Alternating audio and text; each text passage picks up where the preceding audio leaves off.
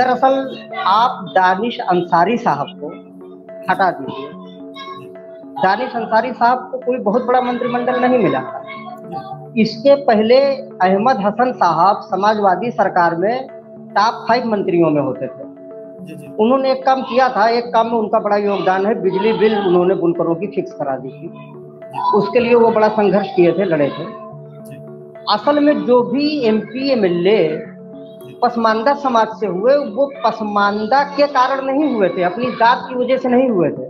वो मुसलमानों की वजह से हुए थे, मुसलमान के नाम पर हुए थे। इसलिए उन्होंने मुसलमानों का हित साधा, मुसलमानों के नाम पर काम किया। अब अहमद हसन साहब एक आध दो अहमद अहमद हसन जैसे एक आध लोग आ गए, अलग बात है।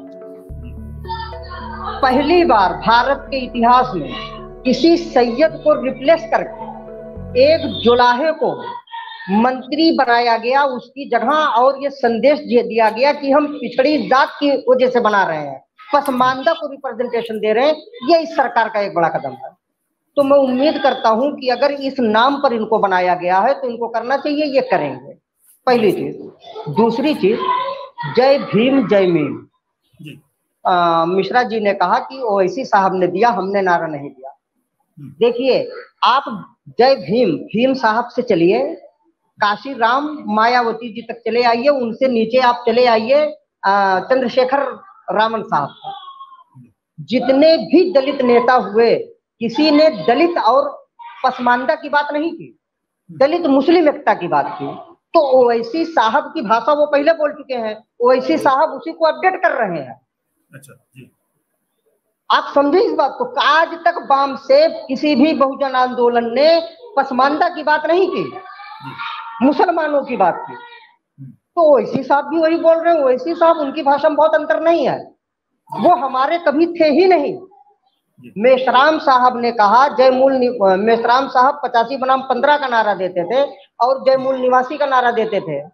मैंने कहा, पचासी बनाम पंद्रह में पंद्रह में ब्राह्मण क्षत्रिय वैश्य हो गया और पचासी में बाकी सब हो गए।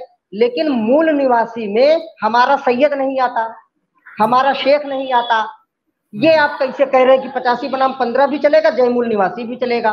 दोनों नारे एक साथ कैसे चल सकते हैं? धूप छाव एक जगह आप कैसे कर सकते हैं? मेसराम साहब के पास जवाब नहीं था।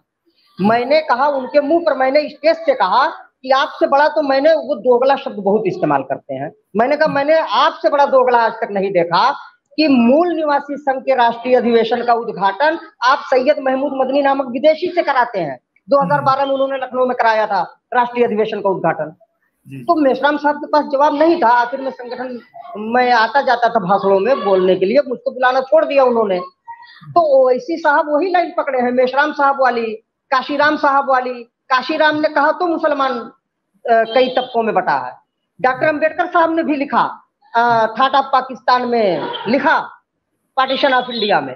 लेकिन बात हमेशा मुसलमानों की पूरे मुसलमानों की। तो वो ओवैसी साहब को सूट करेगा। हर मुस्लिम नेता को सूट करेगा। तो बहुजन आंदोलन से देखिए अब हमको कोई उम्मीद नहीं रहेगी। अच्छा। और वो बहुजन आंदोलन की भाषा बोलेंगे ओवैसी साहब। हर शराब बोलेगा मुझको इस पर मिश्रा जी बिल्कुल हैरत नहीं है। और अगर किसी पसमानदा लीडर ने किसी आईएएस ने एमपी ने एमएलए ने अब तक काम हमारा नहीं किया अहमद हसन साहब अपवाद हो सकते हैं। कुछ ज़्यादा हमदर्दी आ गई या, या सोचा होगा कि वोट ज़्यादा मिल जाएगा जो भी हो। वो डरते थे क्योंकि वो मुस्लिम नाम पर बने हैं। हम्म, यही मुझे कहना। और अगर कहे तो मैं एक थोड़ा सा पीछे चला जाऊँ दो बातें और कह दूँ। जी जी बोलिए। मैं देखिए मैं बहुत हैरत जदा हूँ मैं बीच में जुड़ा नहीं क्या बातें हुई क्या नहीं अलग बात है। मैं बहुत हैरत जदा हूँ मुस्लिम समाज को लेकर ये कहते हैं मुसलमानों में बंटवारा नहीं है। मोहम्मद साहब के बाद चार न्यायिक खलीफा माने जाते हैं। जी। बहुत गौर से मेरी बात सुनिए। चार न्यायिक खलीफा माने जाते हैं हज़रत अबू बकर उमर उस्मान अली। तीसरे न्यायिक खलीफा जिन्हें कहा जाता है तीसरा न्यायिक खलीफा हज़रत उस्मान। उनके पीरियड में विद्रोह हो गया।